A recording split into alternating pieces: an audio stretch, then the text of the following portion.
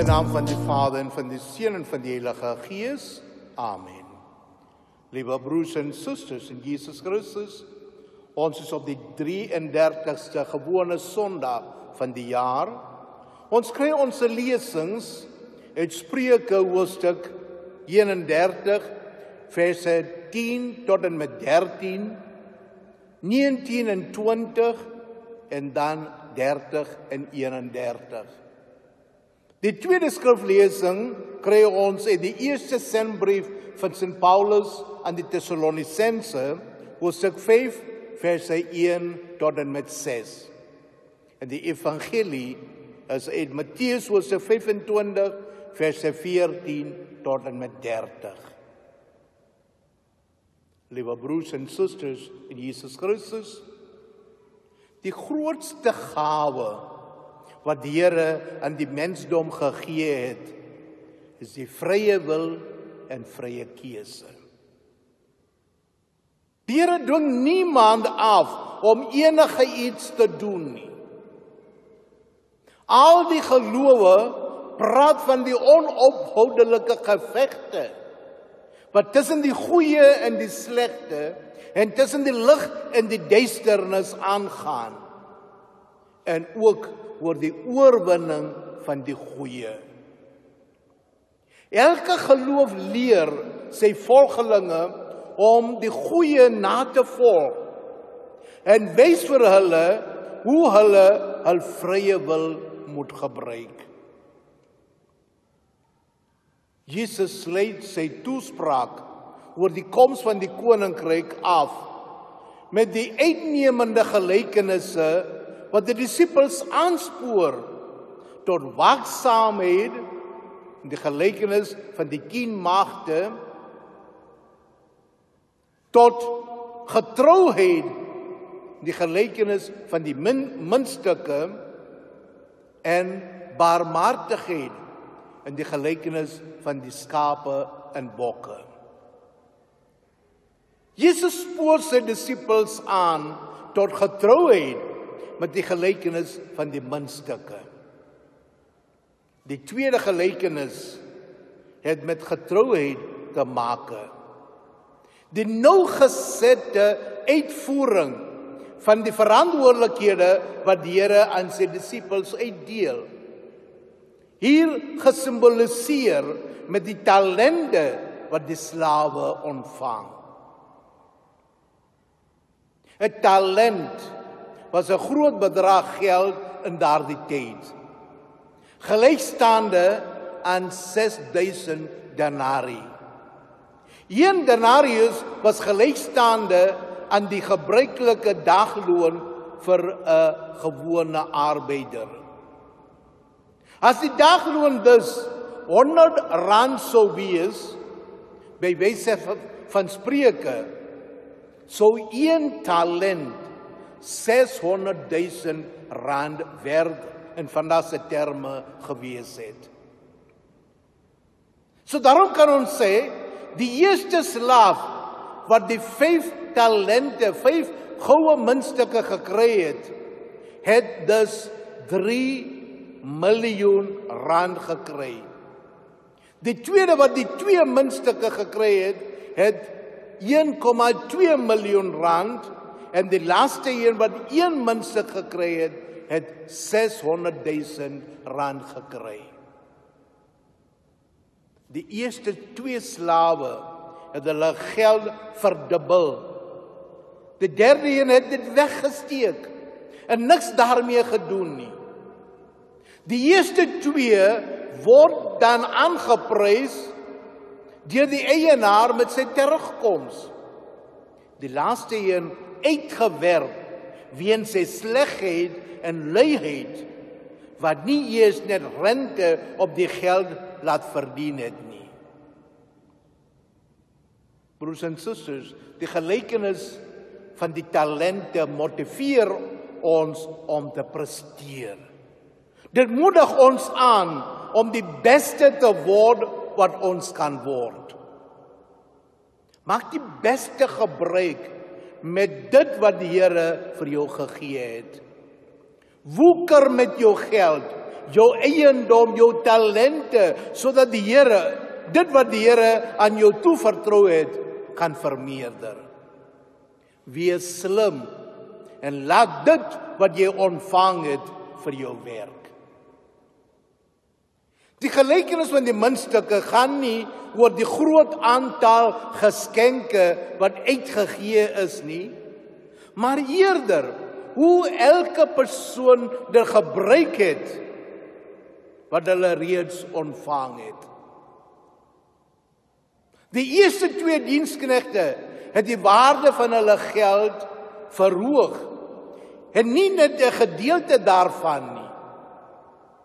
Toe het hulle dit alles vir hulle Heer gegee.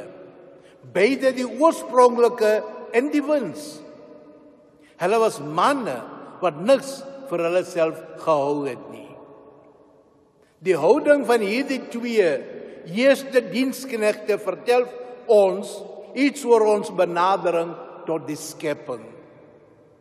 Eerstens moet die skepping as 'n geheel aanvaar word. Tweedens, terwyl ons hier is, moet ons seker maak dat die vrug dat dit vrugte werp en dit dan vir God aanbied. Hoeveel van ons kan sê dat ons al ons talente gebruik het? Dat ons die beste uit ons lewens gemaak het? En dat ons ons hele potensiaal soos mense en soos die kinders van God ontwikkel het. Ons vind baie mense wat deur die lewe net dryf en begin kla oor elke ongelukkige gebeurtenis. Party leef selfsugtig, party doelloos en dwaaslik. En hulle stel sonder 'n ontwikkeling van 'n deeltjie van hul potensiaal. Party werk hard. Maar baie maal die werke waarvoor hulle die hele energie opdra is eintlik nie waardig nie. En word vrugteloos. Hulle word heeltemal materialisties en later vind hulle heeltemal leeg en uitgeput. Daarom vra die Here vir ons vandag Wat is die doel van jou lewe? Wat wil jy in jou lewe hê? Broers en susters, ons moet elke dag sulke vrae aan onsself stel. Waarmee is ek bedrywig? Stel ek belang in die geestelike lewe of in die aardse goedere? Hoe gebruik ek my bekwaamhede en talente? Is ek ledig om my talente te ontwikkel? Daar is 'n klein storie wat vir ons 'n les sal leer. In 'n koninkryk was daar baie mense wat geen werk wou doen nie. Hulle sit dag en nag by die mark rond en verwag dat een of die ander vir hulle iets sal skenk. Die koning het baie probeer om die kultuur van arbeid in te bring. Maar niks het gewerk nie. Hy het moedeloos geraak. Maar hy, hy het eendag besluit om die mense te toets. Daarom het hy 'n groot rots, 'n groot klip in die middel van die pad kom gesit. En toe dit dag geword het, het die mense die klip gesien, 'n groot klip. En het gewonder hoe die klip daar gekom het. Maar almal het net verbygeloop.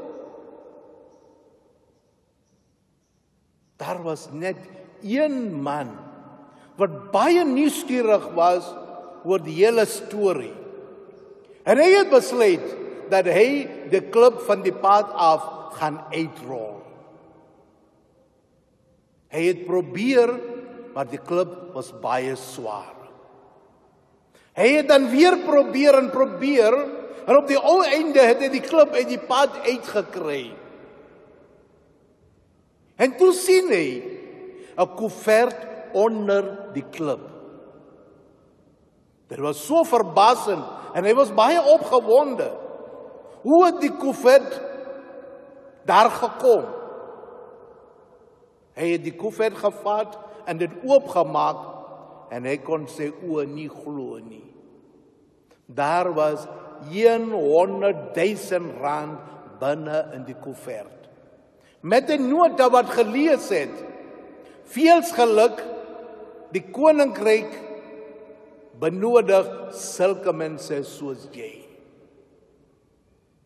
Ja, broers en susters, ons vind baie dinge wat elkeen van ons kan doen. Maar baie maal weier ons om dit te doen en begin kla oor alles. Net as ons wil, kan ons ook die groot klip van onbereidwilligheid van ons uitrol en 'n groot prys daarna wen. Ons het baie talente wat ons van God ontvang het. Die Here het baie bekwaamhede aan ons toevertrou. Maar miskien loop ons ook verby soos daardie mense. Ons het 'n hart vol deernis en meegevoel. Ons kan deur ons woorde baie mense troos bring. En ons medemense kan vertroos. Ons is sterk hande waarmee ons die ander kan help. Maar as ons hulle sonder gebruik laat lê, verloor hulle die natuurlike vermoëns om iets goeds te doen. Ons is genooi om alles na die beste van ons vermoë te doen. Broers en susters, laat ons nou tot God bid dat hy ons die genade gee dat ons sal wakker word en ons talente en bekwaamhede begin gebruik om hom te loof en te prys. En mag die almagtige God, die Seun, die Vader en die Seun en die Heilige Gees. Amen.